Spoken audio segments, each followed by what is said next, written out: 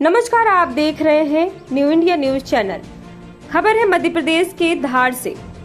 खेत में काम करने गए इकतालीस वर्षीय व्यक्ति की नहर में पैर फिसलने से मौत। जी हाँ आपको बताते चले, धर्मपुरी थाना क्षेत्र के ग्राम पिपलिया कामिन निवासी इकतालीस वर्षीय चंपालाल, लाल पिता चंदर सिंह की नहर में पैर फिसलने से मौत हो गई। बताया जा रहा है कि चंपालाल अपने खेत में काम करने गया हुआ था, तभी खेत के पास से जा रही नहर में पानी पीने के लिए गया। इस दौरान करीब दोपहर तीन बजे मृतक का पैर फिसल गया, जिससे वो नहर में डूब गया।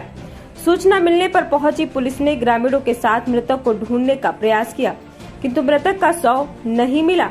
दूसरे दिन सुबह पुलिस और ग्रामीणों के तलाशने पर मृतक का शव मिला, जिसे पोस्टमार्टम के लिए धर्मपुरी सामुदायिक स्वास्थ्य केंद्र लाया गया है।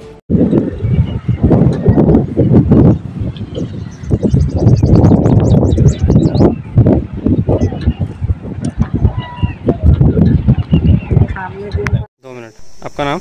धर्मेंद्र मौर्य। ये जो बॉडी लेके आए क्या मामला है ये? चंपालाल मौर्य। कैसे हुई इसकी ये खेत में नहर के पास खेत में काम कर रहा था तो पानी पीने मतलब नीचे उतरा तो उसको फिसल गया तो मतलब मौत हो गई। कब डूबा था ये? कल शाम को पाँच बजे। बॉडी कब नीली? आज आज सुबह दस बजे। कितनी उम्र थी चालीस इकतालीस साल। आ, सर अभी एक मृतक की बॉडी लाई गई है क्या मामला?